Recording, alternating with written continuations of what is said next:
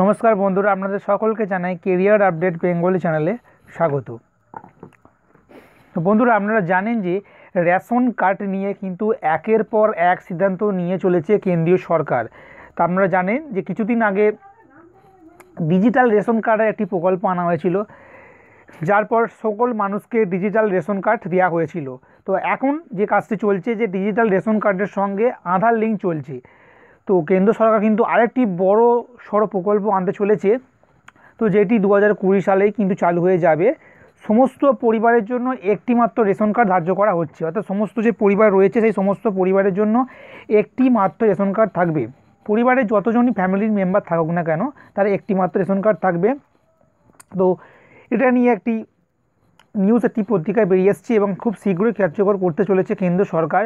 তো আজকের এই ভিডিওটির মাধ্যমে আপনাদেরকে একেবারে এই বিস্তারিত জানিয়ে দিতে চলেছি। তো অবশ্যই বন্ধুরা ভিডিওটিকে একেবারে শেষ পর্যন্ত দেখতে থাকুন। আর এই ধরনের লেটেস্ট আপডেট খবর পাওয়ার জন্য অবশ্যই চ্যানেলটিকে সাবস্ক্রাইব করে বেল আইকনটিকে প্রেস করে দিন। তাহলে কিন্তু এই ধরনের লেটেস্ট আপডেট আমি দেওয়া মাত্রই আপনারা তার খবর আপনাদের নোটিফিকেশান প্যানেলে পেয়ে যাবেন। তো দেখতে পাচ্ছেন, খুব তাড়াতাড়ি কার্যকর হতে চলেছে এক নতুন রেশন কার্ড। একটি নতুন রেশন কার্ড আনতে চলেছে। তো কেন আনতে চলেছে আর কবে থেকে বা রেশন কার্ড আসবে? সমস্ত কিছু ডিটেলস খবর আজকের এই ভিডিওটির মাধ্যমে জানাব। তো রেশন দোকানের মান উন্নয়নের জন্য আপনারা জানেন যে কেন্দ্রীয় সরকারের তরফে কিন্তু একের পর এক রেশন ব্যবস্থা নিয়ে কিন্তু নতুন নতুন প্রকল্প ঘোষণা করা হচ্ছে, যেটা আমি বললাম। যে ডিজিটালাইজড প্রথমে হলো রেশন কার্ড এলো, তারপরে ডিজিটালাইজড রেশন কার্ডের সঙ্গে আধার কার্ডের লিঙ্ক চলছে। তো সরকার চাইছে এবারে প্রত্যেক মানুষের এর যে রেশন কার্ড রয়েছে, সেই প্রত্যেক মানুষের রেশন কার্ড না থেকে প্রতিটা ফ্যামিলির একটি মাত্র রেশন কার্ড থাকবে। এরকম একটি প্রকল্প আনতে চলেছে। রেশন দোকানের মান উন্নয়নের জন্য কেন্দ্রীয় সরকারের তরফ থেকে একটি মাত্র রেশন কার্ড চালু করার সিদ্ধান্ত নিয়েছে কেন্দ্রীয় সরকার। তো এই নতুন রেশন কার্ড আগামী বছর, অর্থাৎ দু হাজার কুড়ি সালে জুন মাস থেকে কিন্তু পাওয়া যাবে বা কার্যকর হয়ে যাবে।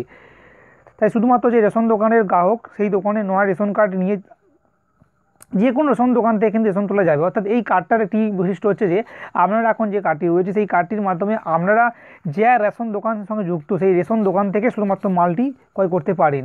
কিন্তু এই রেশন কার্ডটি এসে গেলে আপনি দেশের মধ্যে যে কোনো জায়গা থেকে, যে কোনো জায়গা থেকে আপনি রেশন তুলতে পারবেন। কারণ এটা এইমাত্র করা হয়েছে।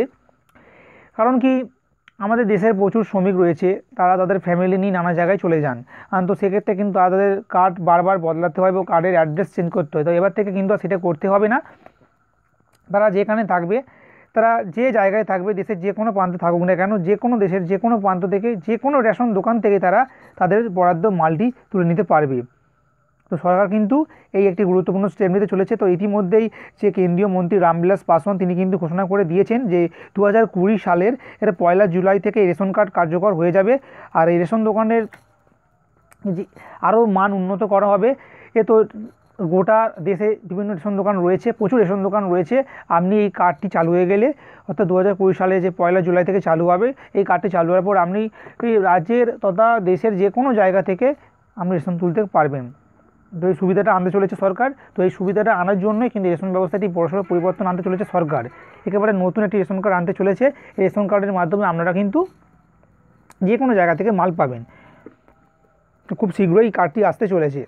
তো আশা করি বন্ধুরা ভিডিওটি খুবই আপনাদের হেল্পফুল বলে মনে হয়েছে।